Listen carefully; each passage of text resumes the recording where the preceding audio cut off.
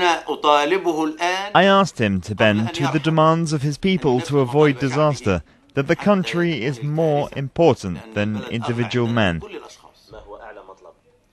He must first put an end to this state of emergency, but despite the state of emergency, we've had a popular revolt. We need Mubarak's PDT party to dissolve parliament and the consultative assembly, which are both illegitimate. Then it's necessary to create a government of national unity and organize proper elections under the control of the magistrates who recently ordered more than 1,500 cancellations from the last parliamentary elections. Hosni Mubarak must leave now, immediately. It's what his people are calling for.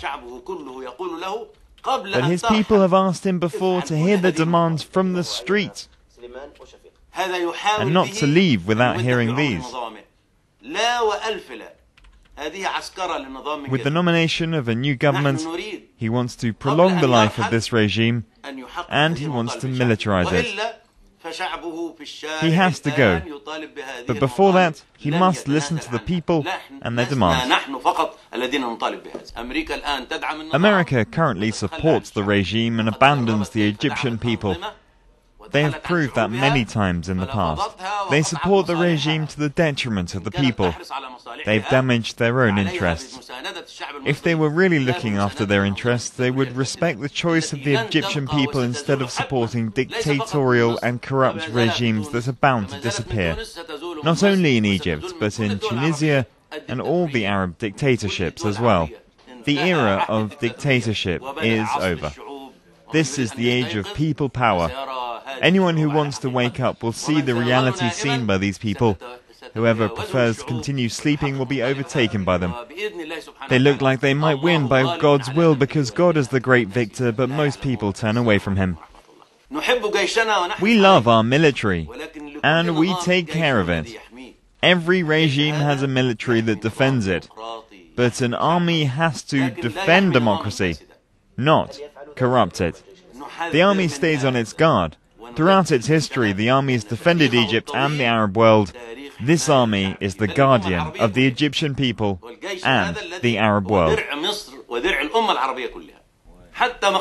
We have even protected the premises of the ruling party, but security forces didn't intervene to extinguish the fires. The Egyptian people are civilized and refined. Whoever wants to know that just has to go to the demonstrations. They'll see how young people have protected our institutions and even the premises of the ruling party, because these buildings belong to us. We're asking responsible people to manage them, because they have been abandoned.